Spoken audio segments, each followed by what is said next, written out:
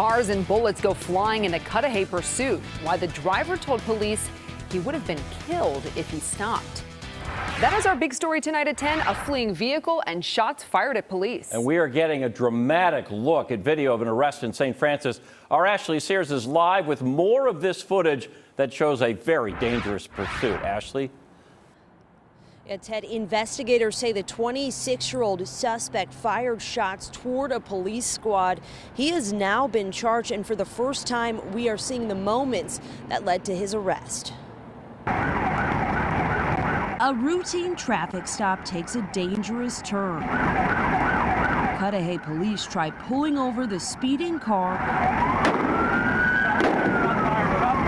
Moments later, two gunshots are fired from the passenger window toward police, striking the back of the suspect vehicle.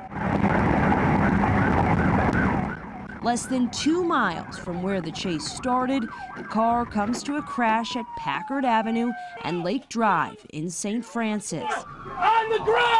Passenger takes off running. The man behind the wheel is taken into custody.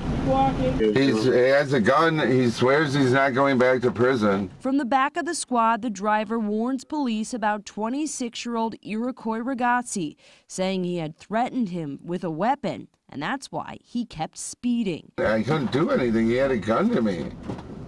What was I supposed to do? He says Ragazzi had been involved with another shooting at a Milwaukee hotel one day prior. He's very on edge. For hours, police searched the area looking for the 26 year old. Please get in! Eventually finding him in a wooded area near the FBI building in St. Francis, arresting Ragazzi and putting an end to a dangerous pursuit.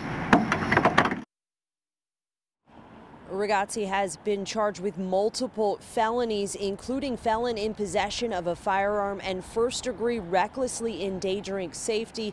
The driver of the fleeing vehicle has not been charged.